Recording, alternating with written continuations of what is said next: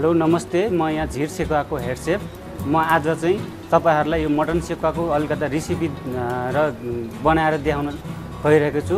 यो चाहिँ तपाईँहरूले आफैले घरमा पनि बनाएर टेस्ट गर्न सक्नुहुन्छ। घरमा पोलेर र पोलेर या फ्राई गरेर ग्रिल गरेर पनि खान सकिन्छ। दसैँ आउँदैछ र तपाईँहरूलाई यो मटन सेकुवा कतिको मन पराउनुहुन्छ यसो घरमा बनाएर पनि टेस्ट गर्न सक्नुहुन्छ।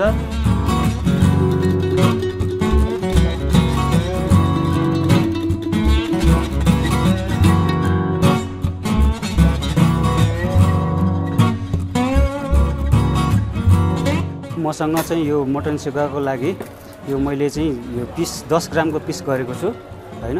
यो यो दस ग्रामको पिसको छ र यसमा चाहिँ सेतो वाइट के अरे बोसो थिक र अनि यो चाहिँ रेड मिट बोन बोनलेस यो चाहिँ हामीले दस ग्राममा काटिन्छ। र अर्को सामग्री यसको यसमा चाहिने सामग्रीहरू चाहिँ मसँग मस्टार्ड ओइल टिम्बुर पाउडर टर्मरिक पाउडर र यो चाहिँ चाइनिज टेस्टिङ पाउडर हो यो। चाहिँ हल्का टेस्टको लागि मात्र युज गरिन्छ। अब हाल्दा नि हुन्छ या नहाल्दा नि हुन्छ यो चाहिँ टेस्टिङ पाउडर हो। र अर्को यो रोगनी मिर्च यो साल्ट यो गरम मसला यो मिट मसला यो चिल्ली पाउडर यो चिल्ली पाउडर चाहिँ तपाईँको लागि यो चाहिँ हल्का स्पाइसी आफूलाई कति चाहिन्छ त्यही अनुसार स्पाइसी चाहिँ युज गर्न सक्नुहुन्छ स्पाइसी यो चाहिँ फुड कलरको लागि है। हाम्रो यो कलर जुन मटन सेकामा आउने कलर त्यसको यो त्यसको लागि हालेको हुन्छ। यसमा स्पाइसी हुँदैन। स्पाइसी लिटल स्पाइसी हुन्छ। र यो चाहिँ जिरा पाउडर यो मिक्स धनिया र जिरा पाउडरबाट बनेको यो मिक्स जिरा पाउडर हो। र यो चाहिँ ब्ल्याक पेपर क्रस पेपर बचत खाताहरू मध्ये सबैभन्दा बेस्ट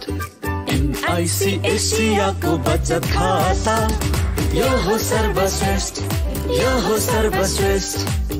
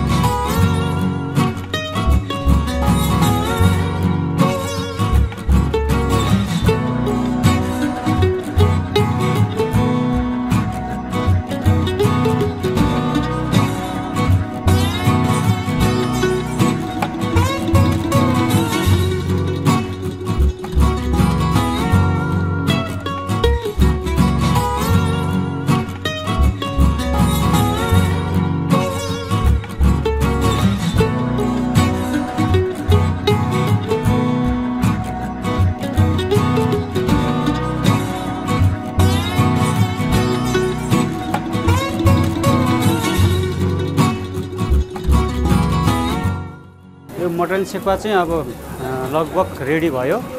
र यो चाहिँ मिनिमम आठदेखि नौ मिनट या दस मिनटसम्म चाहिँ अलि लाग लागि लाग्छ टाइम यदि यो मटन सेकुवा पाक्नलाई चाहिँ।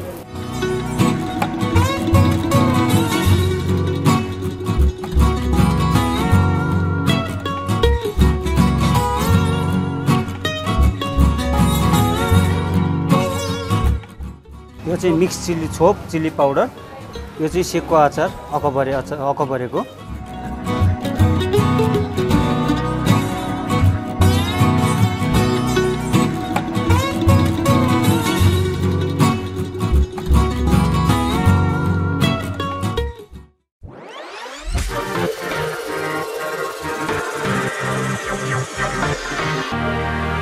Thank.